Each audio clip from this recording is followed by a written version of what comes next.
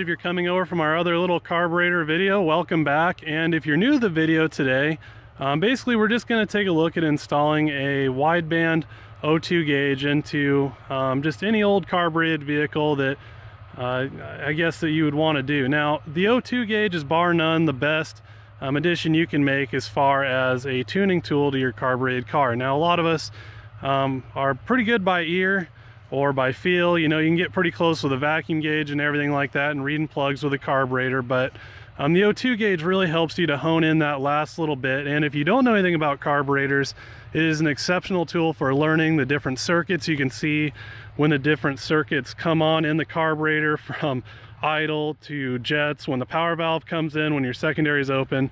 Um, it's it's a great tool and really um, that and a vacuum gauge will take you really far with a carburetor. And I do have a lot of other little carburetor tuning videos here that go pretty in depth that I'll go ahead and link below if you're not familiar. But um, anyway just looking at it today here uh, just a really quick overview on the truck. It's a roller 302 and it has a T5 five speed swap. It's been together for 10 years and I've always um, had the intention of putting a 351 in here and a Tremec uh, five speed but or six speed or whatever but it's honestly just done so well.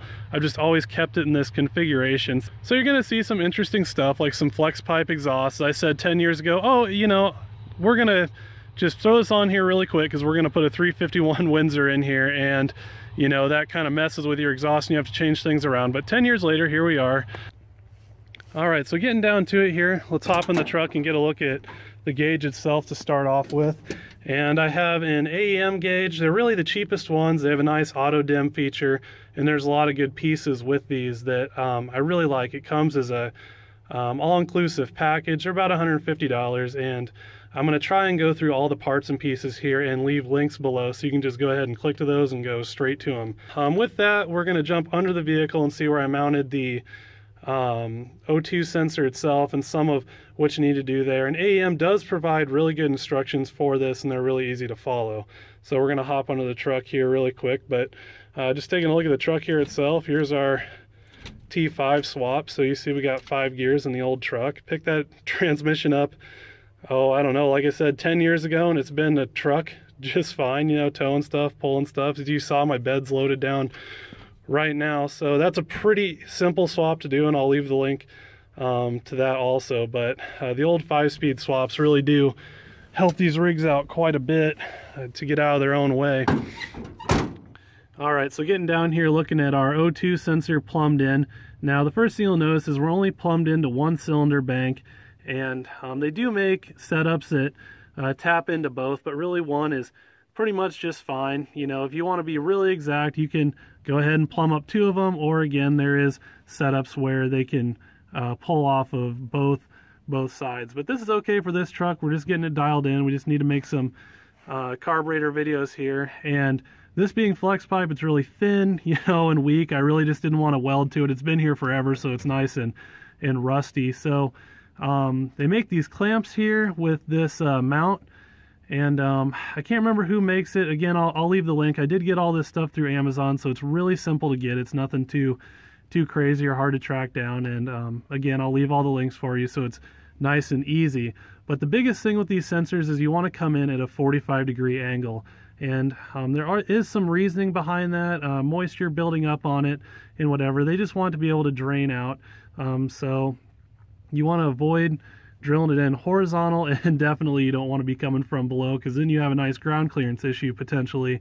But anyway, I'm sure the next thing you're wondering is how the heck you get in here and drill this hole that's uh, fairly sizable coming in from above. And really, um, the best way to do it is to use a little Christmas tree bit or a step bit is what they're called, and then a 90 degree drill attachment. If you if you don't want to take your exhaust apart, which I I really didn't want to do, and I had all this stuff with me, so I thought, well, we'll just chuck the 90 degree drill attachment on and the uh, step bit and hog through it, which we did, and it all worked out nice. And I'll leave the link for those tools uh, as well. They're, they're really things if you work on cars you should have. That 90 degree drill has saved me a million times. So I'm, I'm trying to be as helpful as I can today. I'll try and leave all those links as well. So again, we're coming in from a 45 degree angle, nothing special. Um, we're keeping all of our uh, cabling away from any rotating pieces or anything like that and anything of heat and we're just going right up into the cab. And we'll take a look at where I did that. Again nothing special. This is super simple. So getting up here with our uh, cheap little $500 overhaul engine we're just tracing the wiring up and we just go right in the cab. Um, I just chopped into a rubber boot. It's already there. I mean I guess you can drill holes in your firewall if you really want to um, but it's pretty easy to find these little rubber boots pull them out drill a hole through them and then push everything through. So that worked out pretty well. And again, it's all out of the way of the steering column and everything, and that's pretty good. And appreciate all this wiring I did back in high school about 10, 12 years ago. That's pretty comical. This is what you don't want to do, and there's obviously ways to make things look pretty good. So hopefully this winter we get that all squared away also.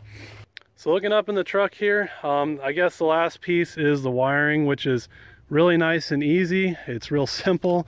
Um, you just have two wires, red and black, as uh, is typical with your 12 volt stuff that you have to hook up. So your black is obviously your ground. You can hook it to any ground that you really want there. And your red is a 12 volt power source. And um, like I said, AEM has some pretty good installation notes here to assist you in installing this thing. It's really nice and straightforward. And the last little note that you want to keep in mind when you're installing this guy is that you want to hook to something that's a 10 amp fuse and you want it to be a switched power source. So um, reason being you wouldn't want to have it on when your truck is just, you know, off and not running. So a switch power source of about 10 amps and then you're, uh, you're good to go. Really nice and simple. So anyway, that's pretty much it. Um, again, there's not a whole lot to installing this. I put mine in in probably um, 35, 40 minutes.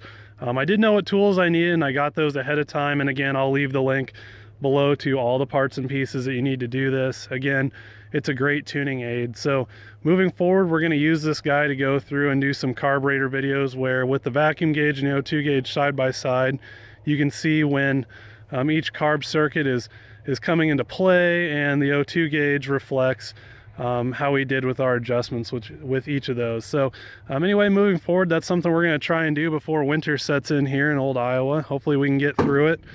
Um, we'll see. And if not, we'll get it in the spring. But um, yeah, that's pretty much it. Um, the O2 gauge, great addition to any old carbureted vehicle and a great tuning tool if you're trying to get your carburetor just perfectly dialed in or if you just want to really overall understand how your adjustments affect a carburetor. So anyway, there you have it.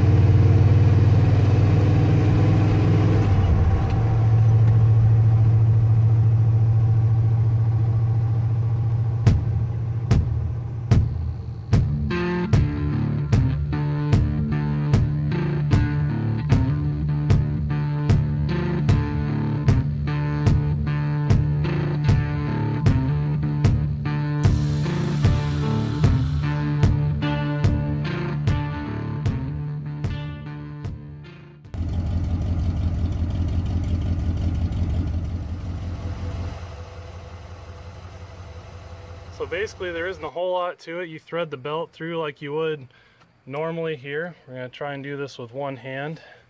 You're just gonna slip this guy in there, cinch it down. There we go. And then you're gonna bend it back on itself and then you're just going to push down and there we go. Our oil filter is nice and loose now and we can carry on with our oil change. So that's the belt trick. There you go.